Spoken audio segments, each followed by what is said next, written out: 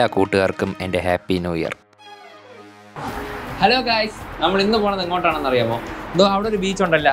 ആ ബീച്ചിലോട്ടാണ് ആദ്യം പോണത്.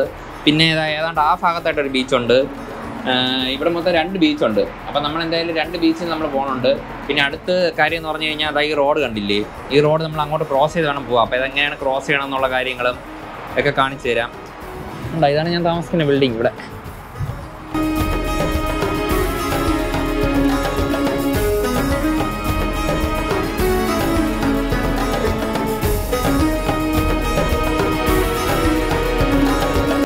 നമ്മൾ ദൂ പാലം? ആ പാലം കേട്ടാണ് നമ്മൾ ഈ റോഡ് ക്രോസ് ചെയ്ത് അപ്പുറത്തോട്ട് പോണത്. അല്ലാതെ ഈ റോഡ് ക്രോസ് ചെയ്ത് കഴിഞ്ഞാൽ പത്തോ അഞ്ഞൂറോ രൂപയാണ് ഇവിടുത്തെ. ദറംസാണ് ഫൈൻ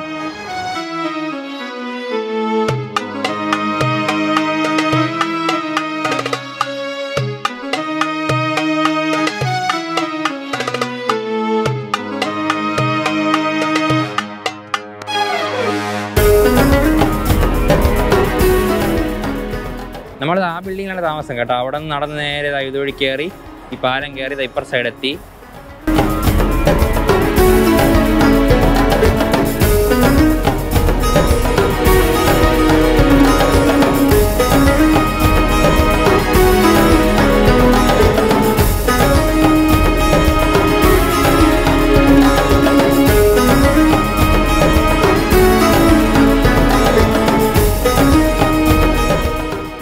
നടന്ന് നടന്ന് കണ്ടോ ബീച്ച് എത്തി. കാണാമോ ബാക്കിൽ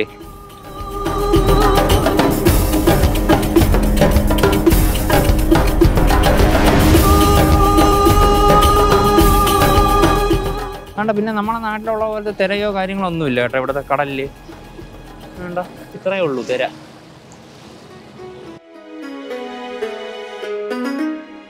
ഇത് ഷാർജയിലെ മംസർ ബീച്ച് ദുബായിയുടെയും ഷാർജയുടെയും ബോർഡറിൽ വരുന്ന ഒരു സ്ഥലമാണിത്.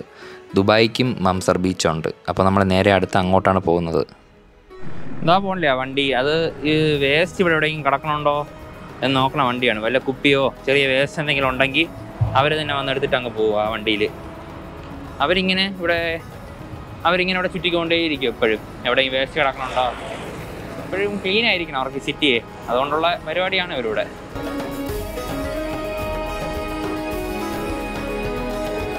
ഇത് സംഭവം വേറെ ഒന്നുമില്ല കേട്ടാ. നമുക്ക് ഈ ബോട്ടൊക്കെ എടുത്ത് ഓടിക്കാവുന്നതേ ഉള്ളൂ.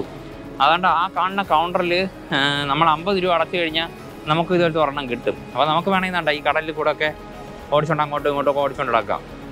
പക്ഷേ എനിക്ക് അറിയാത്തതുകൊണ്ട് ഞാൻ ബോട്ട് എടുക്കില്ല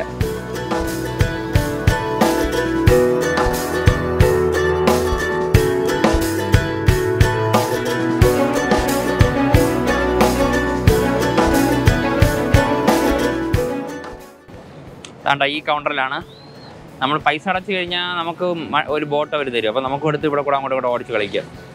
ആണ്ട ഇവിടെയാണ്. ഇതൊക്കെയാണ് കൗണ്ടർ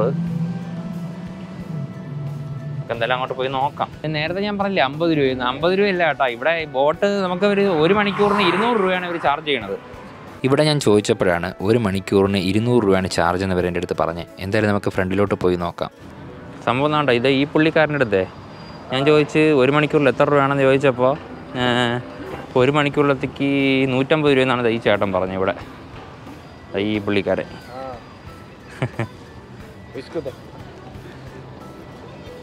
ഒരു മണിക്കൂറിന് എത്രയാണ് റേറ്റ് എന്ന് ഇവരോട് ഞാൻ ചോദിച്ചപ്പോൾ ഇവരെന്റെ അടുത്ത് പറഞ്ഞത് ഒരു മണിക്കൂറിന് നൂറും പിന്നെ അരമണിക്കൂറിന് അമ്പതെന്നുമാണ് ഇവരെന്റെ അടുത്ത് പറഞ്ഞത്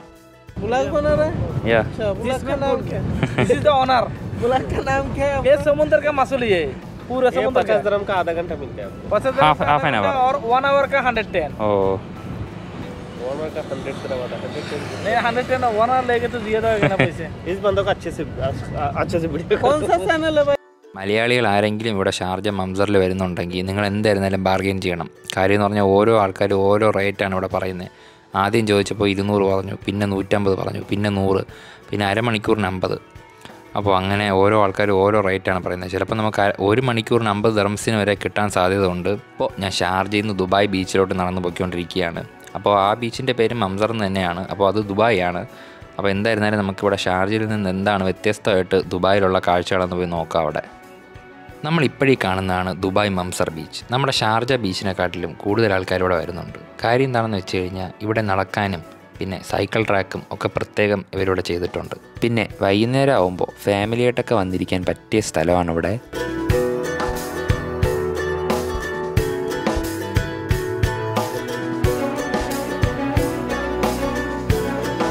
പിന്നെ വേണ്ട ആ ഭാഗത്ത് പിള്ളേർക്ക് കളിക്കാൻ വേണ്ടിയിട്ടുള്ള സംഭവങ്ങളാണ് അവിടെ. പിന്നെ നമ്മളിപ്പോൾ ഈ കാണുന്നതാണ് സൈക്കിൾ ട്രാക്ക്. ഏതാണ്ട് ഒരു മൂന്നാൽ കിലോമീറ്ററോളം നീളമുണ്ട് ഇവർ ട്രാക്ക് ഇവിടെ ചെയ്തിട്ടിരിക്കുന്നത്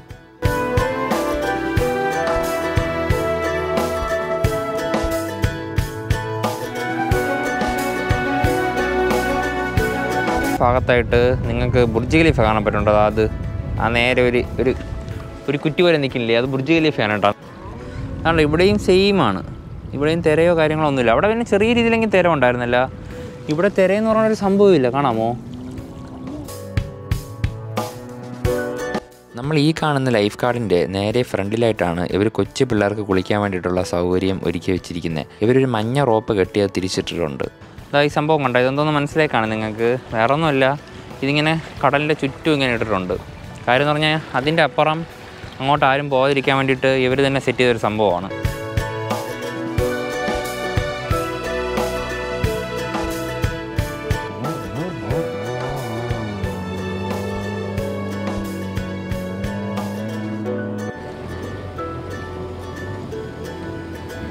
അങ്ങനെ